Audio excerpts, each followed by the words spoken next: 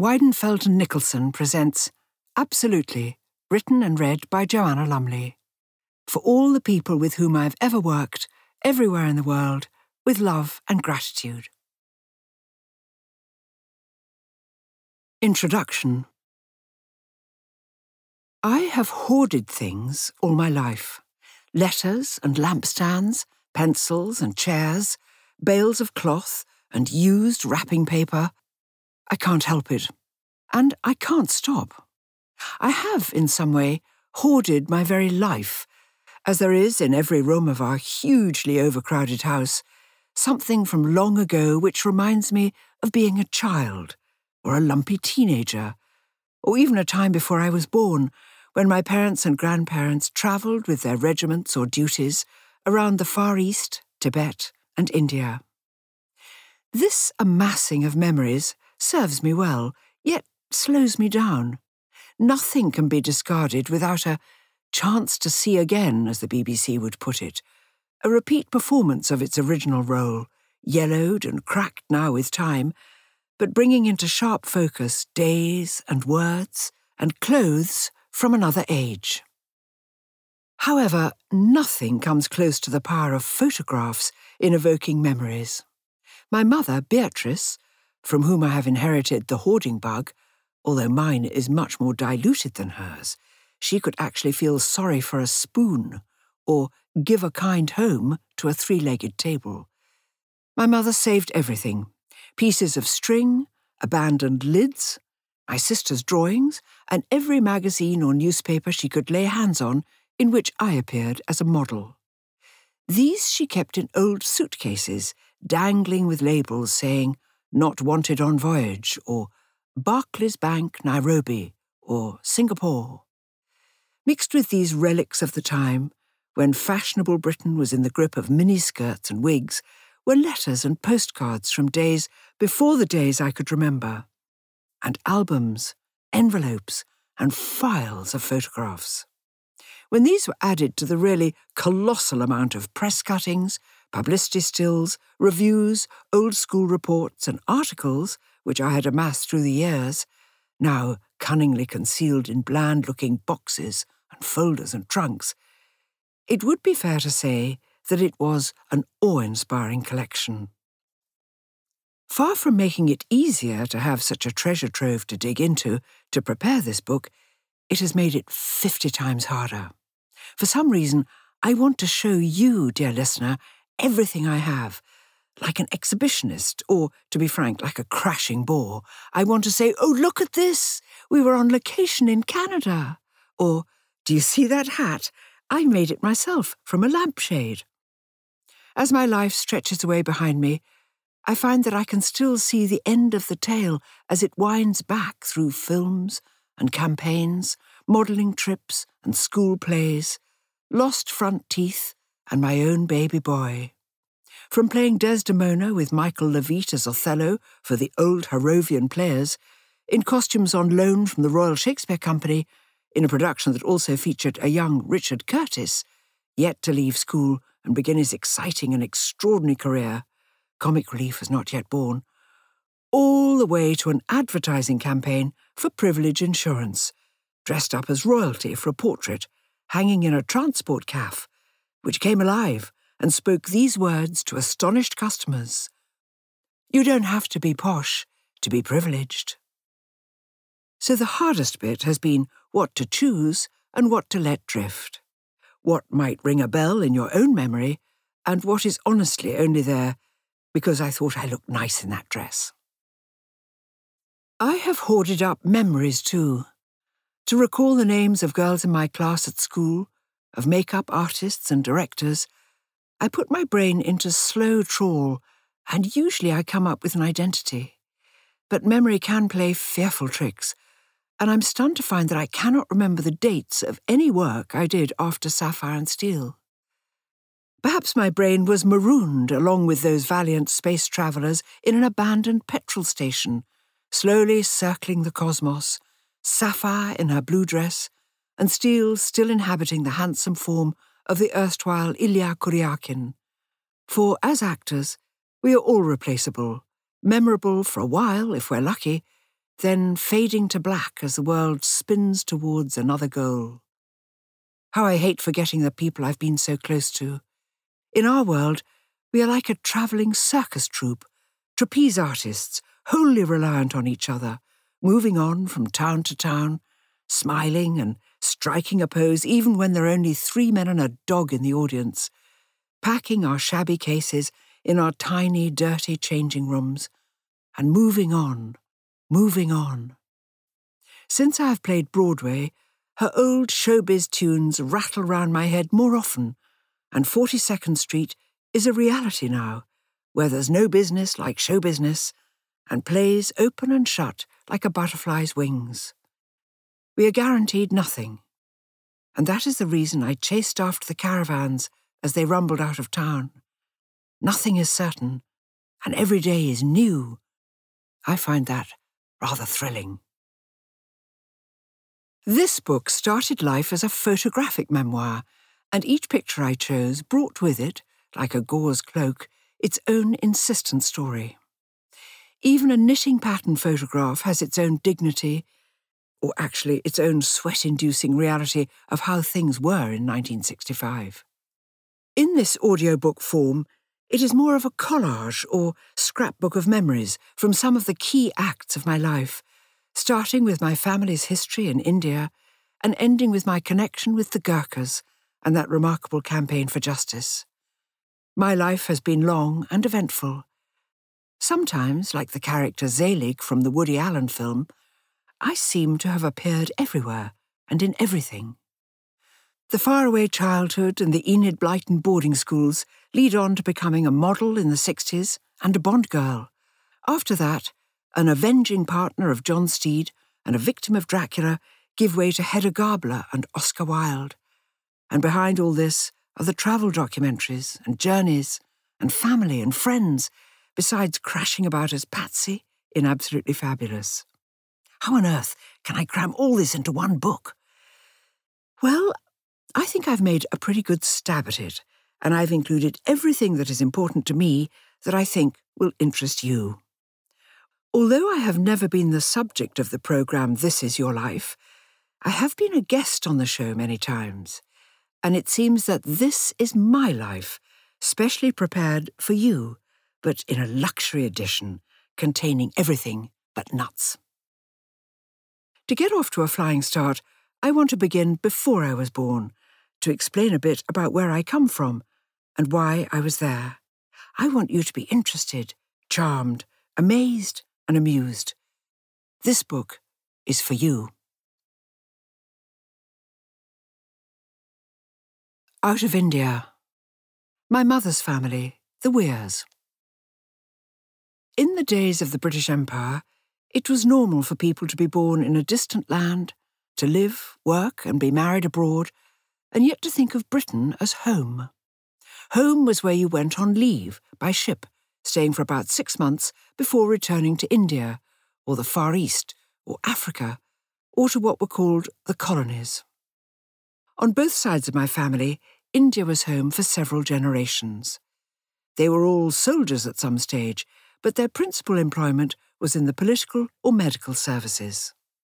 Today, it's hard to imagine the way people travelled in those days by slow and unreliable motor cars on bumpy roads, in horse drawn carriages and steam trains, on horseback or on foot, on board ships with Spartan accommodation. And yet the journeys were made, the post got through, and telegrams remained the most reliable way of sending urgent messages. To travel home took weeks, not hours. Most children used to be sent to England to be educated, and often didn't see their parents for three or four years. Husbands and wives got used to being apart for months at a time. It was a different world. My great grandfather was known in the family as Grandpat. His name was Colonel Patrick Weir of the Indian Medical Service. His son Leslie was my grandfather. He was born in Ghazipur in 1883 and joined the 5th Cavalry of the Indian Army. He was a diplomat. His naturally friendly nature made him a trustworthy and welcome guest in countries that were suspicious of the outside world, countries like Tibet and Bhutan. He laid out a nine hole golf course in Tibet, sent seeds from rare Himalayan plants to King George V, and spoke 12 languages. As he always took the trouble to learn the language and know the local customs, he was able to remain on the friendliest terms with everyone he met, from kings and prime ministers to porters and grooms. My mother's mother, Granny Weir, Thyra Letitia Alexandra Somers, as she was before she married, was an actress through and through, although she only appeared in amateur dramatics in India. She was Danish, but had been born in New Zealand, where her father, Christian Somers, had set up his life and family in the 19th century. She met Leslie while she was in Burma. My great uncle Bart, her brother, was building a hospital there, and because he was a bachelor at the time, Thyra went with him to run his household. My grandparents' wedding was quite small and without the usual complement of family guests and close friends, as Burma was a long way from India and New Zealand. I wish I could remember Grandpa. I did know him when I was tiny, and I sat on his lap when he visited us in Hong Kong, but I only have a small, blurry photograph of that occasion. Everyone loved him. He died too young of leukemia and is buried in Kenya, which was where my grandparents went to live when he retired. Home wasn't England to them, as they'd never lived there. My grandmother, Thyra, had a dashing personality, great artistic talent and temperament, and immense personal charm. Theirs was a life of duty, travel, and recreation. Duty led them to Persia and Sikkim, Bhutan, Kashmir, and Tibet, and all over India and the Middle East. My grandfather was what was called a resident, a sort of mix of an ambassador, adviser, and go between.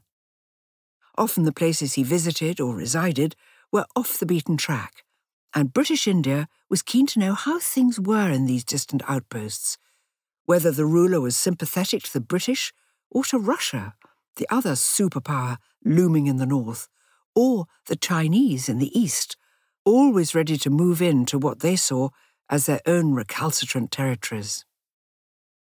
He gathered and gave information, made friends, and officiated at functions. Grandpa and Granny Weir lived in residences, quite grand buildings that came with the job.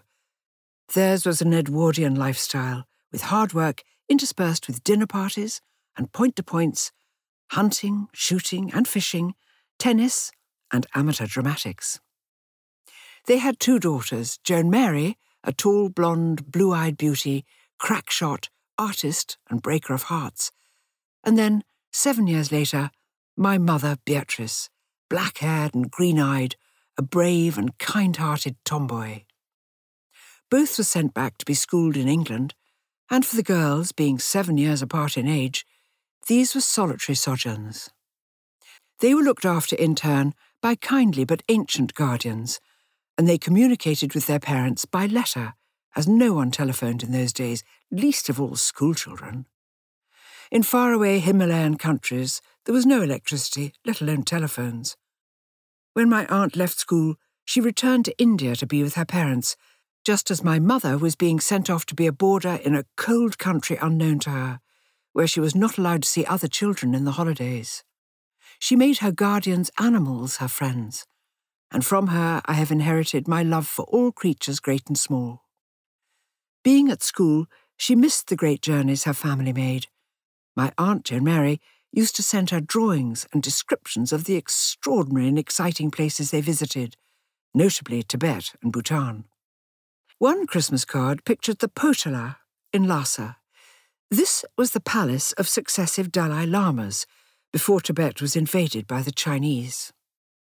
In the 1930s, Grandpa had become a close personal friend of the 13th Dalai Lama, the spiritual and political leader of Tibet. Granny was the first European woman to visit this majestic and secretive capital city. My mother, at school in Hampshire, would think of the ponies she had left behind in Sikkim and imagine their long trips on horse and foot with mules and yaks. And she would dream in Urdu, her first language, taught to her by her ayah, her Indian nursemaid. As soon as she left school, she went back to rejoin her family in the great subcontinent she considered her home all her life. My father's family, the Lumleys. My father, James Rutherford Lumley, was born in Lahore. His father, Charles Chester Lumley, was the son of a clergyman, William Faithful Lumley, the chaplain of Chelmsford Prison. The family was large, and money was fairly scarce. Daddy's great grandfather was the splendidly named Adjutant General to the Indian Army, in 1798, Major General Sir James Rutherford Lumley. And even though young Charles was brought up in England, he decided to follow his ancestors to India to seek his fortune. I don't think it was a fortune, but it was a respectable and responsible job running a big bank in Western India as it was before the creation of Pakistan. He met and married my grandmother, Ella Marion Young, in India, and, like my mother, my father was sent home to school, seeing his parents only once in four years. He had three sisters, Rosa, Arabella, and Isabel. When my grandfather retired from the bank, the whole family left to live in England, but my father was to return to serve in the Indian Army as a Gurkha officer. As I get older, there are a thousand things I wish I had asked my parents. I never met my grandfather, Charles, nor for that matter did my mother, as he died before she and my father met. I wonder what kind of a man he was. My aunt said he was very gentle, mild mannered, and humorous. I hardly knew my grandmother Ella either, but I have the beautiful little diamond necklace she wore on her wedding day. It was left me by my Aunt Arabella, and I shall leave it in turn to the next generation. My latest resolution is to write who, when, and where on the back of every photograph I have. It may take ages, but as my own memory fades, not yet, but surely soon. It is the least I can do for my grandchildren. You think that you will never forget an event, or that someone's face is too familiar or well known to need identifying, but I shall do it just in case. Memory is like smoke. You can see it clearly, and then it's gone, leaving not a trace behind. I never asked my father why he joined the Gurkhas. There were many other Indian regiments at the time. Like all who applied to become Gurkha officers, you had to learn to speak Gurkhali first. There were a series of rather gruesome phrases or obligatory Nepali sentences that it was important to learn for the obligatory Nepali examination that you had to pass to be allowed into a Gurkha regiment. Number 17 of the sentences. Dailo tuneko tio anitala bataragat bagdai anundai Tio, or The Door Shut and Blood Streamed Out from Below. Number 19. Jahan Sukai Gaye Pani Gaun Ma Mareko Manche Matrai Filaparan, or Wherever I went, I came across only dead men in the village. Number 41. Teti quiero mero gar kat kera silki masario, or Then my house fell down, and I moved to Sikkim. You had to serve six months in another British regiment first. Which one, Daddy? Why didn't I ask or make a note? And then you were catapulted in at the deep end. Jimmy's first tour of duty was on the northwest frontier, with a hundred fighting fit Nepali soldiers who thought nothing of running up sheer mountains with a full pack on their back. The Gurkha soldier is never without his kukri, a short sword with a unique recurve blade. The legend is that, having been drawn from its sheath, it has to see blood before it goes back. Certainly it strikes terror into the hearts of anyone who has the misfortune to come up against it. Daddy loved the Gurkhas completely. He loved their bravery and humour, their modesty and wicked sense of fun. As soldiers, they had, and have, no equals in the world, and are feared, respected, and loved by all who come into contact with them. The Second World War had started when my parents met, in Srinagar, where Grandpa Weir was resident at that time. Jimmy would have been on leave. Srinagar, capital of Kashmir, is sublimely beautiful. Great lakes are surrounded by Himalayan mountains. Kingfishers dip and flash in the water. Huge plane trees, chinars, cast cooling shadows in the hot summer months, and the hard, snowy winters give way to spring with all the flowers of paradise bursting from the cold ground. On the lakes are houseboats, enormous moored wooden palaces reached by shikaras, little gondolas propelled by paddles shaped like hearts. No wonder people fell in love there. No wonder my parents spent their honeymoon there in 1941 on a houseboat moored on the Dal Lake. When Srinagar became too hot, the British retreated to Gulmarg, an alpine resort reached only on foot or on horseback. High up in the pine forests were long wooden bungalows called huts. Granny and Grandpa Weir had a hut up there. There were picnics and dances, golf tournaments, and hill walking to make a holiday complete and unforgettable. Now a road has been built up to Gulmarg, and coaches filled with tourists make the slow, steep journey upwards to Nedou's hotel and the golf course. There's a ski lift too, a changed and crowded place. Everywhere changes. The Buddhists say the only thing. We hope you enjoyed this preview. To continue listening to this audiobook on Google Play Books, use the link in the video description.